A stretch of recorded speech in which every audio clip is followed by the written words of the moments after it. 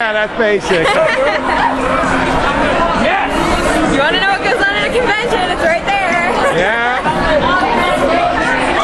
Somebody on Yahoo answers questions, ask what goes on an anime convention. I just take them to, I tell them to go to my It's YouTube basically site. that. Go to my YouTube site and you'll just see all, you see everything right there. Rest with me.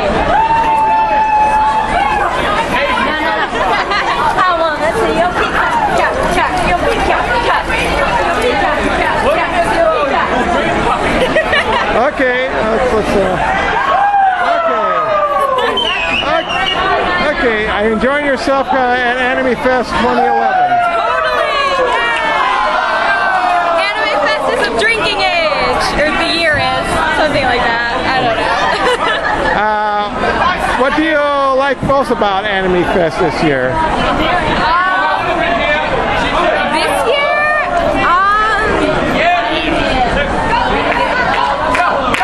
nothing really. I mean, it's the same as just about every year. But, Okay, and you've, you've been you've been to more than one Anime Fest, right? oh yeah, I've been coming since I was 13.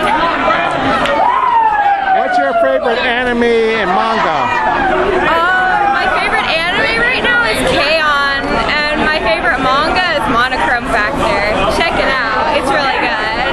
Have you been to other anime and conventions? Yeah, I go to like six every year.